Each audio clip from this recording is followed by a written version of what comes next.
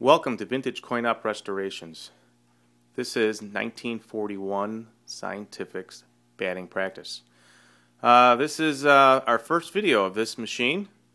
Uh, it's be re being restored for a client to museum quality. Um, we just got this uh, not too long ago, and this will be the first one of, uh, I think we received four machines from this gentleman, and uh, we are going to get this one done first. Very neat game, very similar to Irving Kaye's batting practice. Uh, that's 1968. This is 1941. Um, the box almost is identical. Uh, graphics are completely different. This game uh, it's got a pretty elaborate um, uh, graphics on the side here. For the time, too, for 1941, it's pretty uh, pretty ornate. As we come around the sides here, you know, you're looking at this and you're thinking this is silver. But uh, with a little cleaning and getting rid of all this nicotine, this silver becomes a light baby blue. Here we go close to these graphics over here. These are really, really sharp. Unfortunately, we are not going to keep all of this because we are doing a complete restoration. So all this stuff will be copied and redone identical to the way it is now. the game uh, in the back did not have its uh, back backboard on here, but that's not a problem. Uh, but the game is complete. All the coils look pretty good. I don't see anything uh, obvious uh, that needs any work except that spring, of course. we got a there's a couple transistors over here that uh, either need to be replaced or reconnected because they're all disconnected now. Uh, this is a neat little mechanism here. What this is doing is the ball comes off of the play field, sits in this little pocket. As it comes up, the ball is dropped into this little bucket, comes around, and what we're going to see is it comes down this track in which that's where the ball is brought to the bat, and that's where you're actually swinging at it. But uh, right now, it looks like it's all complete. Uh, we didn't do anything yet. Wow, look at that. The fuses ins inside this machine. That's definitely old school. And here's the motor for this whole thing. Uh, looks like someone has done some work here. This motor may may not be the original motor because I can tell there's some brand new screws in here, some uh, new plates made.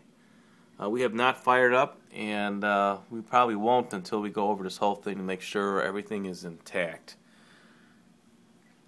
Alright, as we come around here, we do need extensive plywood repair.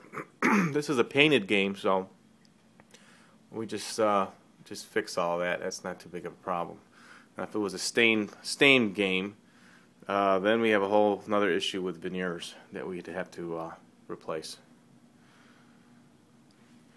A lot of nail pops, cracks, and if you look real close to the machine, we just can't paint over all of this. This all has to be sanded down, filled, primed, because if you don't take care of the bottom, what's on the bottom will always come through. It's just like a linoleum floor. If you got a crack on underneath that, that flooring, it's going to show through eventually. It's just a matter of time. Someone did do some work with this little front door here. I'm not sure if they just sanded it, painted it. It's not the same color as the rest of the game. Uh, we have the coin mech that's all intact. I'm not sure if it's the original coin mech uh, because I don't believe the door is. Uh, you can tell that at one time someone did some work trying to get it open, and if you look at the coin box itself, it's pretty much perfect. And over here you can tell that's almost, that looks like an animal trying to get in or out of this thing. It's been chewed. Uh, pull back a little bit. Look at this gun handle. This is what swings the bat. As I squeeze it, can see it do that. Very, very cool. Come around, get you a better picture of this. Now all of this will be re-chromed to show chrome. It'll be absolutely beautiful. Now, different than Irving Kaye's batting practice. Look at these guys here. All these men are extremely detailed. They're painted three to, three to four different colors. Uh, there's a pole that they're sitting on that will absorb the hit of one of these balls because Irving Kaye's guys were just made of uh, rubber. And eventually they just got so hard that the from the ball hitting them, they just feet just cracked. And you would find these little guys in the back of the game sometime when they got moved.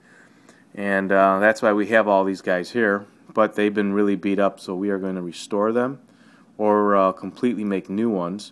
And if you look real close, these guys are not just on a piece of plastic. That is a stained piece of wood that each one of these guys are on.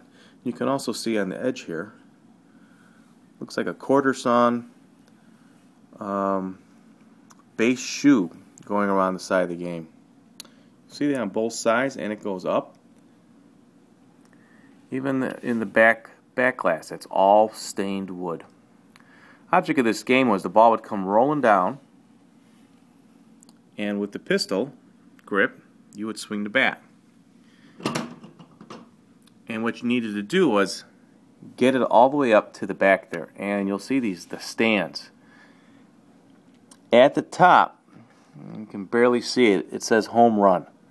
Below it's triple, double, single. That is how the game's going to keep score. And each time the ball gets dropped behind there, it goes down. You can see the aluminum ramp there, and they all go to the back of the game, and where, where that little arm would pick it up and bring it right back up and shoot it down this uh, ramp. Pull back to this machine here. Well, if you're in the market for a arcade game, ball bowler, or uh, need your game restored, please give us a call. We're located in Chicago. This is Vintage Coin Op Restorations. Uh, love to talk to you about any of these games or uh, if you have anything else in mind. Uh, one other thing that we're looking at here is on top of the game, we're missing the marquee. The marquee is going to be restored. If we can't find it, uh, we're going to check the shed to see if uh, maybe it just got left behind. But uh, right, right now, uh, we are going to do our best to try to find it. Again, this is Vintage Coin Op Restorations.